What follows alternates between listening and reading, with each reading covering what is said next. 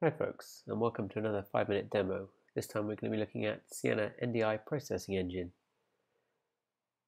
The NDI Processing Engine is a universal dynamic glue rack using NDI technology to link together little processing modules that would normally be done by hardware in traditional baseband workflows.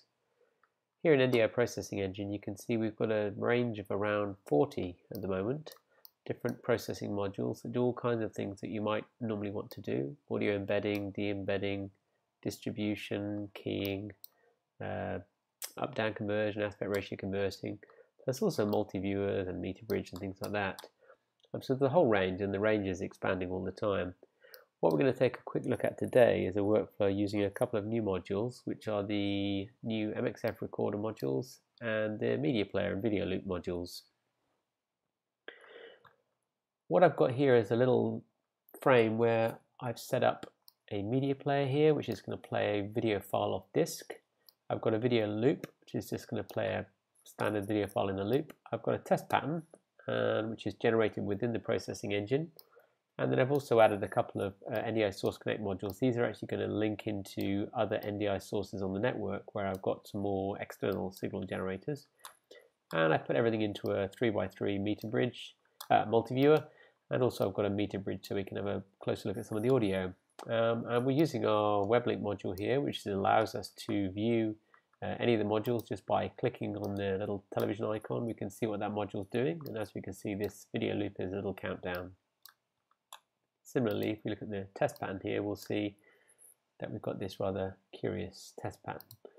And of course, if we look at the output of the multi-viewer, we'll see everything together and that includes the new meter bridge output which is a audio level meter but it's also got history which is nice. Um, and this can be very useful for different applications. And of course you can label everything as you want with the meter bridge and also the multi-viewer. We're also using the AES67 to NDI module and that's bringing in a feed from a Dante Avio uh, interface here which is one of the things that we're looking at on the meter bridge. I think it's one of the audio feeds that we've got on here then we've also got um, some MXF recorders and we're going to be recording the output of the media package and then doing some edit during capture in Adobe Premiere. So in order to do that we basically choose our source which in this case is going to be the media playback. It could be a live video source for example and I'll also take the countdown and record that into here and I've given a predefined folder and a base, base name. They're going to get um, timestamp suffixes to keep them unique and if we just have a quick look at the multi-viewer here, we can view it with the web link as I did earlier. Or if you like, you can, because it's a native NDI source, you can bring it up in any NDI monitor on any other machine on the network, in a Studio Monitor or NDI Monitor on Mac, or, or right inside a TriCaster or any other NDI device. But what we're going to do here is we're going to actually record into these new MXF recorders, and they're going to record into this folder right here, Capture. So let's just stick them into record. It's as simple as powering them up. And what we should see within a few seconds is some files appearing inside here. So there's the first one starting. And this is recording into an XDCAM HD 50 format. Um, and it's using a edit during capture mechanism. So we can actually go straight into, actually we've got to start playing back on the other one. I didn't actually start the player. So why don't we stop this recorder on the package and I'll turn on the player first so we've actually got something to record.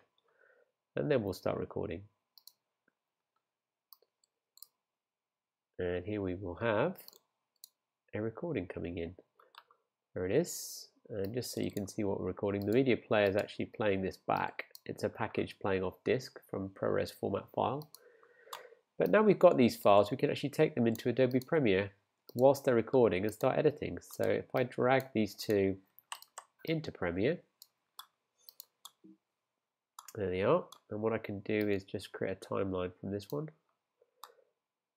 And oh, I'll create a timeline from both of them actually. Let's put this one here. So this is the package you're recording off disk. Now I've just dragged that in there and you can see that it's about 10 seconds long. But if I wait a few more seconds, I can actually drag the end out because it's a dynamic recording. And there it is. So now there's more there. We can keep dragging the end out as long as it keeps recording And this is obviously useful for edit during capture, live workflows, where you've got things that are growing files as they're recording. And that's the new MXF recorders. Uh, as I say, it's a XDCAM HD 50 MXF file, growing file, right within the NDI processing engine. And you can add as many of these as you like. If you've got enough CPU power to do all of this stuff, you can just keep adding and adding and adding. Uh, and when you finish recording, hit stop and then stop. Um, and of course, all of this infrastructure is virtualizable. So it's running on standard CPU. It doesn't use any additional hardware or even any GPU for most of it. And this means that you can run it on any kind of standard virtual machine, including virtual machines inside Amazon Web Services or Azure or Google Cloud. And this gives you the ability to build a complete broadcast infrastructure in the cloud, combining this with things like our NDI router, um, NDI Cloud for upload and download of video, live video, and you can even now get a NewTek um, IP series switcher which will run in the cloud as well. So you really can build complete broadcast workflows with NDI in the cloud, um, or on-prem, whatever you want.